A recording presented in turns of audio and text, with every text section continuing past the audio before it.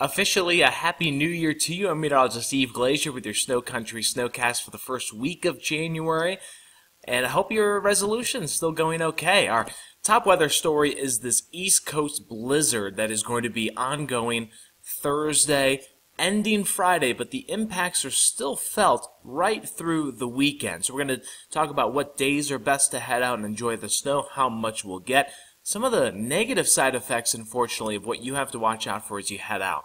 Pretty quiet across the Midwest and Great Lakes, but there's lake effect snow.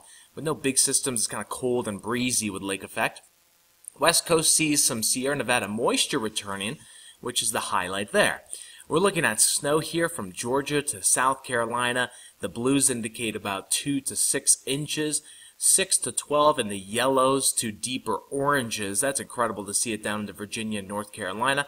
This is more lake effect piling on up. This is the snowfall forecast through Friday, January 5th.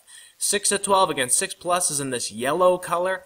And then you look to kind of this deeper orange for a foot plus, which is uh, most likely in Maine, possibly Rhode Island, and into eastern Massachusetts and we have that heavy lake effect on the backside. Across the southeast, again, 6 to 8 inches here in the uh, color coordination table, 8 to 12 in the parts of North Carolina and Virginia. Also, nice little uh, hotspot, 3 to 6 there for the Alleghenies of West Virginia. It really backs off once you get into the Shenandoah Valley, kind of central Virginia, North Carolina, because this is an east coast storm and possibly too strong because this low is going to get so deep and so strong in its uh, central, central pressure, it's going to create damaging wind gusts here. This is on Thursday night, heading from the 4th into the 5th into Friday morning at low off the coast of Maine.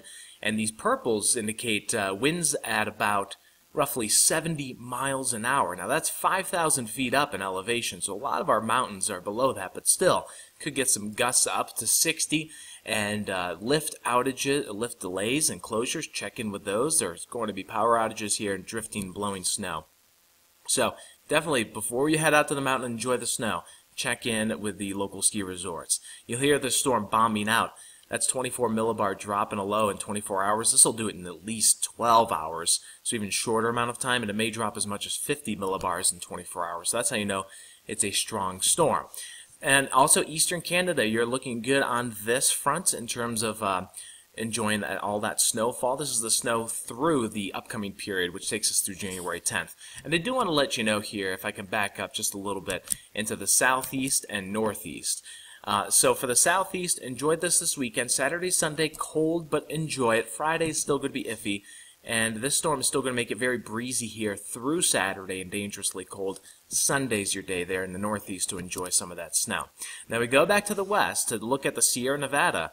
Take a look at this. You can see nice little colors returning to California, Nevada, California especially. Some in purple indicate 6 plus through the weekly period for Colorado into Utah. Not a lot for the southwest and modest amounts here. This is a pretty solid 6 to 12 and then 12 plus in this corridor right here for British Columbia into Alberta and the Northwest.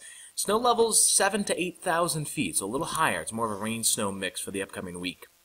It's been very dry in the southwest. My apologies here into uh, Arizona, New Mexico. Looks like it's going to stay that way into these two states. We get, we're getting some moisture, but it's still drier than average for the top half of the four corners. So some moisture coming to the north, but not a lot. Uh, temperature wise, we're still updating you here on these cold sub zero temperatures Friday morning. Uh, sub zero, Great Lakes, parts of the Northeast, upper Midwest, and into Saturday, those little circles are record lows that are possible. And uh, definitely the coldest core moves over New England this weekend. That's why you can get out this weekend in the southeast. It's still going to be cold in that snow and breezy. But Saturday, windy with teens below zero for New England. These come with lighter winds in New England on Sunday, so at least that's a day to get out. Well, stay safe in that East Coast blizzard. It's one to watch. We don't get these storms that much that often. I'm meteorologist Steve Glazier. We will see you next week.